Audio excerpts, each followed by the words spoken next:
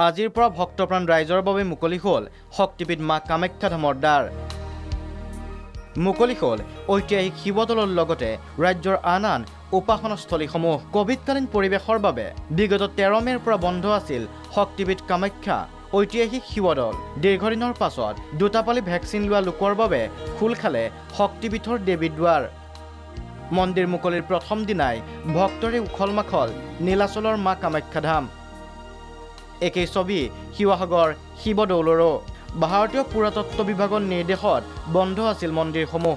বৰ্তমান ৰাজ্যত কৰোণাৰ সংক্ৰমণৰ হাৰ পূৰ্বৰ তুলনাত হ্ৰাস পোৱাত দৰ্শনাৰ্থীৰ বাবে কভিড নীতি নিয়মৰ মাজেৰে খুলিছে মঠ মন্দিৰ। কেৱল দুয়োটা ভেকচিন লোৱা দৰ্শনাৰ্থীহে সোমাব পাৰিব মন্দিৰৰ ভিতৰচৰাত কৰিব পাৰিব পূজা অৰ্চনা। দুটা পৰ্যায়ত হ'ব দৰ্শনাৰ্থীৰ পূজা অৰ্চনা। পুৱা সাত বজাৰ পৰা এঘাৰ বজালৈ আৰু বিয়লি ডেৰ বজাৰ পৰা চাৰি বজালৈ দৰ্শনাৰ্থীৰ বাবে খোলা থাকিব শক্তিপীঠৰ দুৱাৰ। উল্লেখ্য যে কামাখ্যা মন্দিৰত প্ৰতি ঘণ্টাত সৰ্বাধিক বিছগৰাকী লোকৰ দৰ্শনৰ অনুমতি। বিপৰীতে অন্য ধৰ্মীয় স্থানত একে সময়ত সৰ্বাধিক দহজন ভক্তইহে প্ৰৱেশ কৰাৰ অনুমতি দিছে ৰাজ্য চৰকাৰে। শিৱসাগৰৰ পৰা ভৈৰৱ বুন্দাৰ সহযোগত ভাস্কৰজ্যোতি শৰ্মা ৰিপৰ্ট প্ৰাগ নিউজ।